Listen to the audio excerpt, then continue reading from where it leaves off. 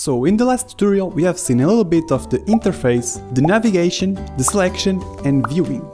So this time let's see the transform tools. And there are two things that you have to keep in mind.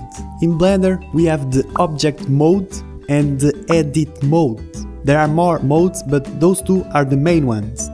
One allows you to manipulate all the objects and the edit mode is where the modeling is going to happen. And if sometimes I miss a shortcut, you can always see what shortcut key I have used in this left bottom corner. Okay, so let's get it on with this. And what we want to do is to press A to select everything and then we can delete all the objects with delete key. Let's set our view to front orthogonal view, which can press numpad 1 and numpad 5. And by the way, in case you don't have a numpad, you can go to File, User Preference and Input you can select Emulate Numpad, which will convert your numbers from 1 to 0 into a numpad.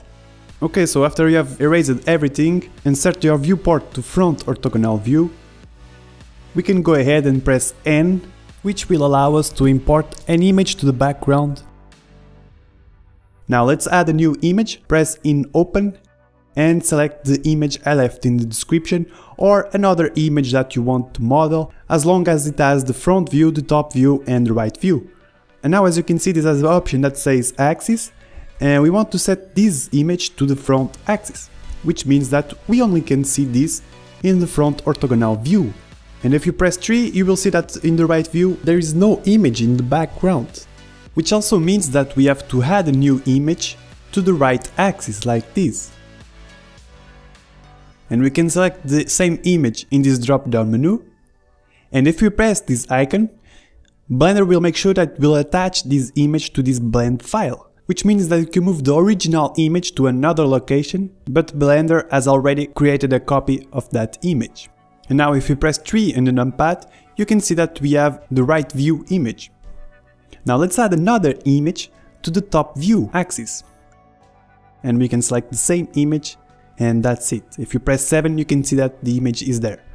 And don't worry because we are going to align everything in just a moment. Now let's go back to the front orthogonal view, so we can press 1 in a numpad for that. And as you can see, if you press the mouse wheel down to rotate, the image will disappear, because you will rotate in the 3D space, and we don't actually want that, we want to pan our view. And for that we can hold shift down and also press the mouse wheel down and this time we won't get out of the front orthogonal view. So let's go back to our front orthogonal view and to start modeling we need an object and we have a plane, we have a cube, we can start with a sphere, we can start with a cylinder, we can start with a lot of things but for this specific object as you can see it's a bit squarey so we are going to use a cube which you can add with shift A and in the mesh selection you can select cube and it will spawn in that cursor. Okay now so to move this object, we can do with this axis, with these arrows, which we only can see two because we are in orthogonal view. Or you can press G, which will allow you to move anywhere. But since we are in orthogonal view, we only move in the z-axis and in the x-axis. And there is a simple way to know which axis you are facing. You can look down here in the left bottom corner, or if you may notice in the background we have the blue line and the red line, which means we don't see the y-axis. And if I get out of this front orthogonal view, you can see that if I press G, this cube will move anywhere. So this is the free hand moving, but we can lock our movement to only one axis by pressing X, Z or Y. Let's go back to our front orthogonal view and let's move our object right in front of our SMG9. And as you can see this cube is too big, so we need to scale it down. And the key to scale down, it's actually S. So let's press S, and as you can see, if you move your cursor to the center, it will shrink. And if you get far away from the center, it will grow. And this is a freehand scale. You can also lock to the x-axis, as you can see, if we press X. We can lock in the y-axis, in the z-axis. It's the same thing as the movement. So let's scale it down, like this, and move the cube to the center of the SMG until it touches the white lines. Let's scale it in the X, like this, and at the beginning it doesn't need to have the perfect size. Now let's change our view to the right orthogonal view, with 3 from the numpad. And as you may notice, the right view is not aligned with our cube. And we can align our images if you go to this panel and let's go to the right image and down here we can control the X of this image and if we scroll a little bit down and we need to center the right view of our SMG weapon with the blue line and the value that I use it is minus 4.26. Now we can scale our cube a little bit down to fit the right view. Okay, that's great, and now we can do the same thing for the top view.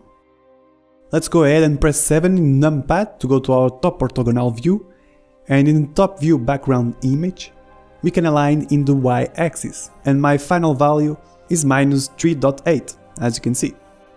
Okay, that's great, now we have the right and the top view aligned with our front view of our SMG weapon. Now, normally someone who is good at modeling will look at an object and deconstruct it in their mind.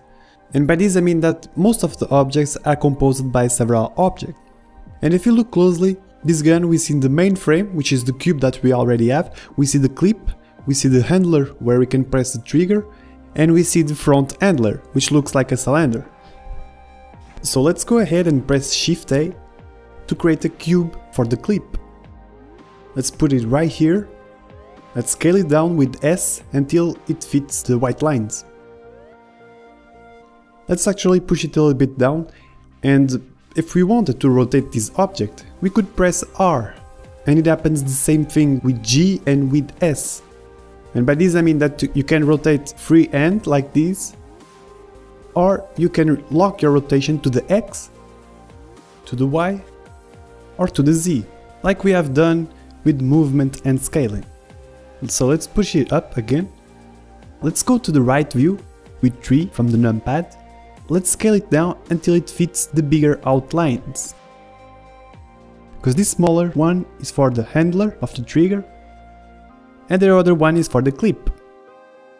Let's go back to front orthogonal view. Now we can scale only in X until it fits the white lines.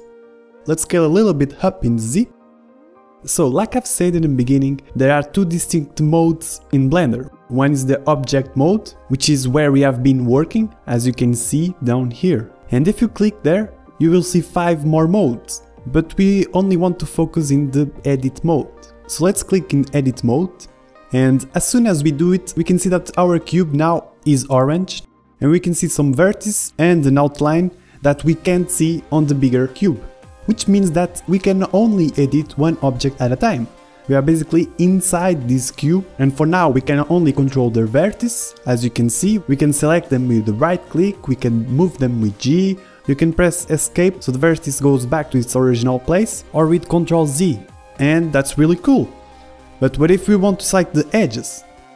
Well, we can switch to edges if we click on this button and we can select the faces with this button, as you can see. There is also a shortcut for this, which I believe you should know and is extremely important for a nice workflow, which is the Control tab, that will instantly let you select vertex, edges or faces. So let's go back to vertex and to our front orthogonal view. And if you are wondering if there is a shortcut to switch between object mode and edit mode, there is one, and it is tab. This one with this icon. And if you look down here you will see that it's switching between edit mode and object mode, which is also very useful. And as you can see if I select the bigger cube and I press in tab I can enter in edit mode, then I press in tab again and I can go back to object mode and so on. So it's really easy to work with this. And as a good modeler that you are going to be, you always want to keep your objects with their respective names. And we can do that in this panel over here. And in this cube, which is the object properties, we can click and there is a lot of stuff here only related to these objects that we are going to see in later tutorials, but for now we want to change only the name, which you can do here. So let's call this clip or ammo clip and let's select this cube and call it main frame. And now it's about time that we save and we can do that with Ctrl S. And as soon as you do it, Blender asks you where you want to save your file and you can choose a place to save this file and give it a name. And after you have done so, you can press Save Blender File. The next video we will go a little bit deeper into modeling and see if you have learned something. You can find that video in the description or in my channel. So that's it, thanks for watching guys and see you in the next tutorial.